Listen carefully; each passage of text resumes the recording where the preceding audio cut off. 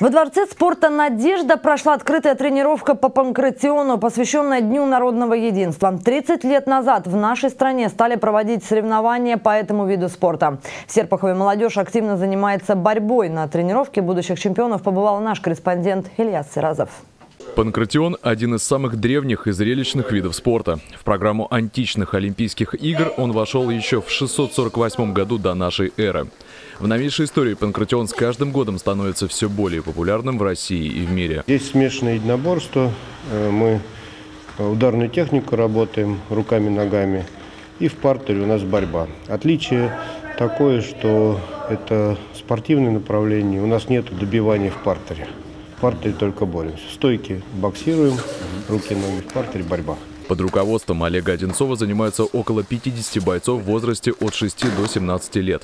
Олег Анатольевич в этом году набрал новую группу, и спустя пару месяцев занятий есть уже и первые победы. У меня был первый бой, я выиграл в этом первом бою и хочу стать чемпионом.